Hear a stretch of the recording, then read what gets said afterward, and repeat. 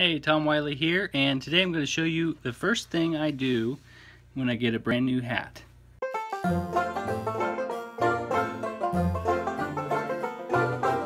So my old hat here has seen a fair bit of weather and it's starting to get worn and um, ragged looking. So we've I've put it through a lot. and it's time to make that an official um, rough work hat and move up to a new one. So I found a new one here at North 40 today.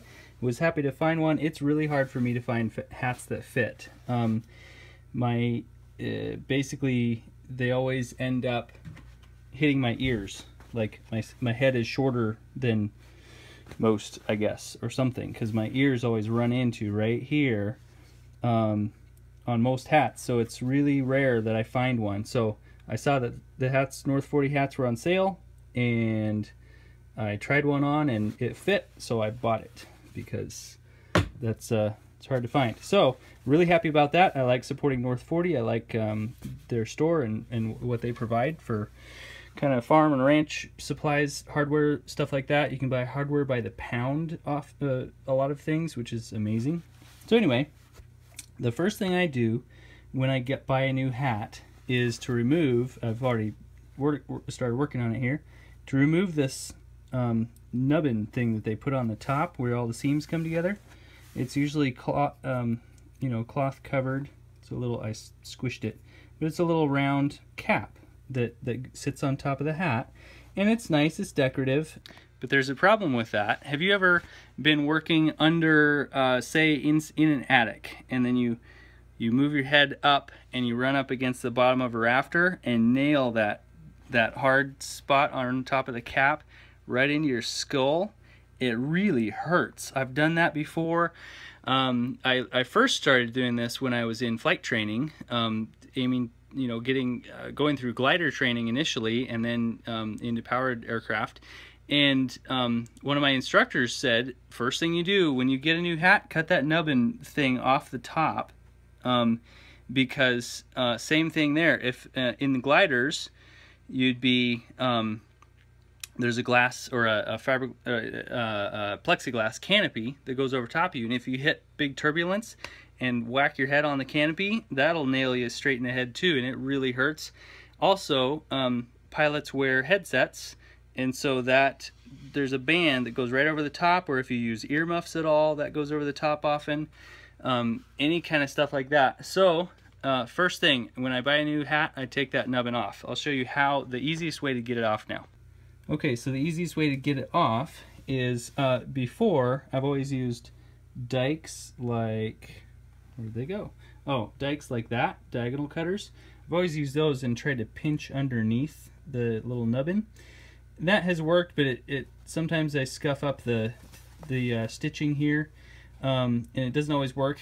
Uh, this this time I did a different approach, which was get this thing focused. Um, I just took my duckbill pliers here, any kind of pliers would work, and I squished it sideways. I just went and crushed it like that. That's why the thing that's normally round is flat. You can see it folded in half. Um, so that squished it in half, that popped the cloth thing off. Then I was encountered with basically this little assembly here with this upper cap thing. That's what makes it round. So that popped off. I squished that off. And then I just, just kind of squished this back and forth a little bit. Um, and basically this, these two barbs stick out. They go through two holes in this. And then they, um, so they go up to, to, through two holes and then they curl back on themselves. Kind of like a staple, but, but bigger. Um, so they were just, these were curved inward um, through the holes in this little device. So I squished that around enough to, to free it up, open it up, and then I just used my knife blade, which I've um, broken off and filed into a screwdriver tip. I just um, stuck it in there and, and pried those up. And then I took my duckbill pliers again and I squished these so that they were straight. And now I'll simply try to do this without a tripod. Now I'll simply try to pull it out the back here, you might need to use some pliers or screwdriver or something. I'll just pry under there. And there it go. There, here it comes. if I can get a hold of it. So that's what came out that side. So as you can see, you end up still with a attractive hat. It doesn't really change much as far as appearance goes. That will slowly kind of level itself out. So here's my old hat. You can't even tell that there used to be something there. It leveled out and looks totally normal. So this one will do the same over time. So now I've got a brand new hat and don't have to worry about hurting my head. Now when I bonk something, it'll just be the feeling of the bonk and not uh, something jabbing into the top of my head. well, I hope you enjoyed this tip. Um, keep working hard and get some cool stuff done today. Please give me a thumbs up and um, subscribe to my channel if you'd like to see more. That really means a lot to me. I'll catch you later.